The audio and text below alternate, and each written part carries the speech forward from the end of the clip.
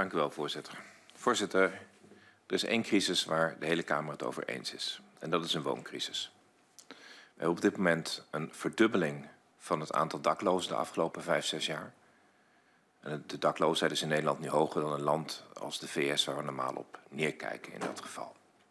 We hebben te maken met een tekort van een paar honderdduizend woningen.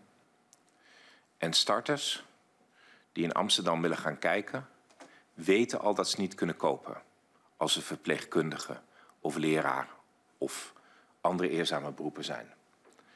En dat zeg ik erbij, dat zijn mensen die een licht bovenmodaal inkomen hebben. Dan heb ik het nog niet over mensen die bij de, um, in de horeca als beveiliger of, um, of bij de supermarkten werken. Die weten zeker dat ze nergens een woning kunnen krijgen. Niet kunnen kopen en niet kunnen huren. De situatie is in 50, 60 jaar niet zo erg geweest in Nederland. En dan is het vrij bizar, en dan druk ik me nog voorzichtig uit, om een aantal regeringspartijen, dat zijn huidige en toekomstige regeringspartijen, te horen dat het een demissionair kabinet is. Nou, we gaan van een kabinet van de ene samenstelling naar de andere samenstelling. Dat is precies dezelfde.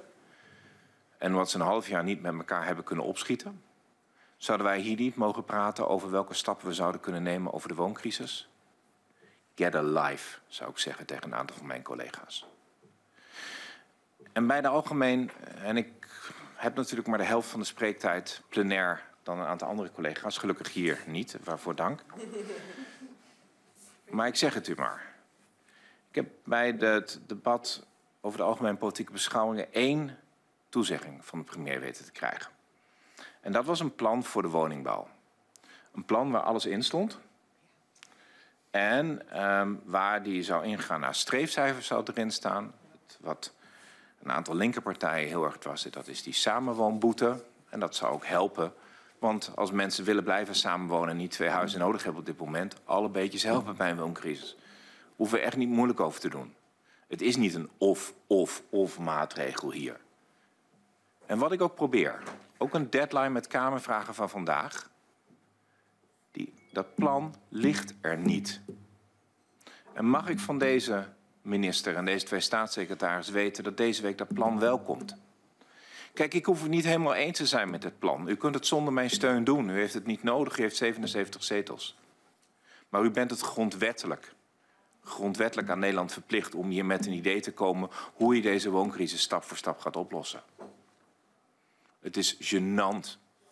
Gênant om te zien dat een deel van Nederland vastloopt. Dus graag zie ik voor woensdag die Kamervragen beantwoord. En dat zijn Kamervragen nummer 2021 Z 17544. Die zijn op 8 oktober gesteld.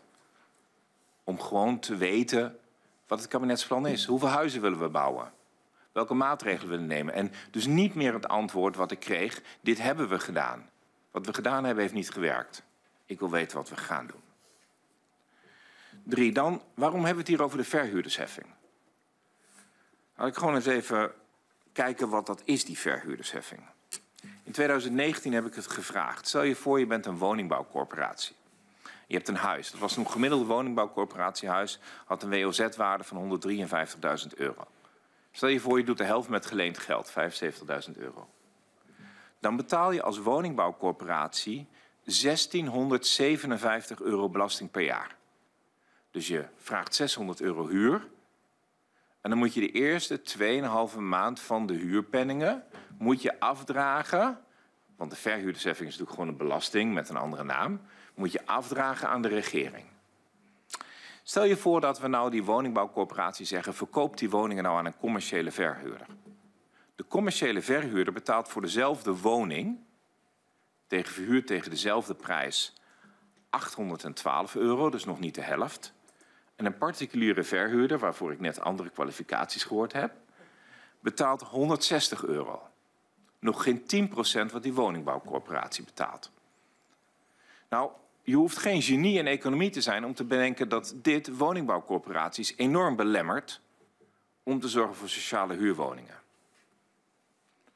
En het is nu zover dat in die stad van meneer Hammelberg um, de gemeente een, een, een, een, een gemeentelijke subsidieregeling heeft voor um, leerkracht op de basisschool om van buiten naar Amsterdam te komen. En dat is pijnlijk, want het heeft ook een ja, toegevoeg, toegevoegde waarde voor die leerkrachten van meneer om in die wijk te wonen. Ik snap Amsterdam trouwens daar hoor. Ja, ja, dank u wel, voor Ja, voor, uh, uh, dat was de motie Hammelburg. Um, oh, dus da dank, u, dank, dank, aan de heer Omtzigt om dat specifiek te benoemen. Um, uh, ik dacht, ik wil dat niet onvermeld laten. Voorzitter, dat wist ik oprecht niet. Maar het is natuurlijk wel pijnlijk om, om je leerkrachten, in, zelfs in West, een subsidie te moeten geven om in Purmerend te gaan wonen en dan het woon-werkverkeer te betalen. Terwijl niet alleen normaal is dat je bij je werk kunt wonen, zeker als je vast ergens woont. Soms zelfs wenselijk is, als je verpleegkundige bent, is het fijn als je op korte reisafstand met werktijden en soms met noodoproepen niet al te ver van een ziekenhuis woont. Maar ook voor de sociale cohesie in een wijk is het heel prettig dat de leerkrachten in de wijk zelf kunnen wonen. Dat kan niet meer in Amsterdam, maar niet, alleen niet in de wijk, niet in de stad. En nou, dat is toch pijnlijk. Nog dus... een interruptie van de heer Hammelburg. Ja, voorzitter. Ja, gewoon eh, ook omwille van de inhoud. Ik ben het daar natuurlijk volledig mee eens. Uh, uh, het probleem in Amsterdam, en dat we voor de helderheid van het debat ook wel aanmerken, was niet alleen woningen. Ik bedoel, ik kan met, met de, de Amsterdamse agent, uh, maar 10% van die Amsterdamse agenten woont binnen de stadsgrens van Amsterdam. En de rest allemaal in de metropoolregio. voor heel veel mensen die werken in de stad. En ik vind die binding heel erg belangrijk. Maar het voornaamste probleem was vooral ook, en dat zat hem ook, uh, in de parkeervergunningen bijvoorbeeld en de parkeergelden die heel uh, duur waren. Dus daar is ook van alles aan gebeurd. Uh, dus het is een veel ingewikkelder probleem. neem niet weg dat de heer Omtzigt gewoon volstrekt gelijk heeft dat we te weinig woningen hebben en kaart moeten bouwen en ook alle prikkels daarvoor moeten faciliteren. Heer Omtzigt. Ja, nee, ik snap de complexiteit, maar ik, ik, ik geef even aan dat twintig jaar geleden het voor een, een, een, een agent uh, mogelijk was om ergens iets te vinden. Niet in het centrum van Amsterdam en niet overal. Maar we, komen, we, lijken het normaal te gaan vinden van iets wat niet normaal is. Het is niet normaal dat in een land dat mensen op straat moeten wonen. Dat sommige mensen tien jaar op een sociale huurwoning moeten wachten en geen koopwoning kunnen vinden. Um, en die wachttijd is in Amstelveen geloof ik zelfs twintig jaar. Dus pijnlijk. En als je deze belastingcijfers ziet, dan snap je ook waarom de verhuur van particuliere woningen zo interessant geworden is. Dus ik vind het heel interessant dat de DNB zegt, wij willen graag de eigen woning als een um, extra belasten, omdat dat een, een, een, een vermogen is. Nou, voor de meeste mensen is dat niet een beleggingsobject, voor de meeste mensen is dat waar je in woont. Maar vanaf de tweede woning is het wel een beleggingsobject. En of die tweede woning verhuurd wordt of een vakantiehuisje of wat dan ook is, daar kunnen wel hardere maatregelen genomen worden. Zeker als je deze bedragen ziet. Daar kunnen we wel een extra belasting heffen. Daar kunnen we wel um, een, een, een, woonplicht invoeren. Dat hoeft geen zelfbewoonplicht zijn. Want ook als je een andere familie helpt, is het allemaal prima. Maar die kunnen bewoond zijn. Dus is de regering bereid om met dat plan te komen om een aantal stappen te nemen? We zitten in een nood. En willen we echt tegen bepaalde jongen van 22 zeggen... wacht u nog maar 10 jaar in de hoop dat u op uw 32e een woning krijgt? Ik zou het niet willen. Dan voorzitter, de ramingen. Ik sluit daar een beetje aan uh, bij de heer Grinwis. In het, er staat nog steeds in uh, de, de memorie van toelichting... dat de raming toeneemt naar 2335 miljoen. Dus veel meer dan nu in 2025. Mag ik de aangepaste ramingen zien... En mag ik gewoon de onderliggende ramingen zien. Ik heb het elk jaar, dit jaar, hebben, elk jaar hebben we gezien dat die verhuurderheffing veel meer opbracht dan verwacht. Um, dat zien we bij bijna geen enkele belasting. En um, dus zou ik gewoon de onderliggende ramingen en ook de onderliggende beslismemo's eens een keertje willen zien. Want die beslismemo's waren beloofd, maar die heb ik in dit wetsvoorstel niet allemaal gezien. Uh, zeg ik er maar even bij.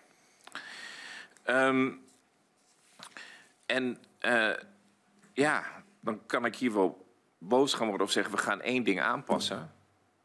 Het is eigenlijk het failliet van de politiek als we hier geen woonplan hebben. Ik zeg maar wat het is.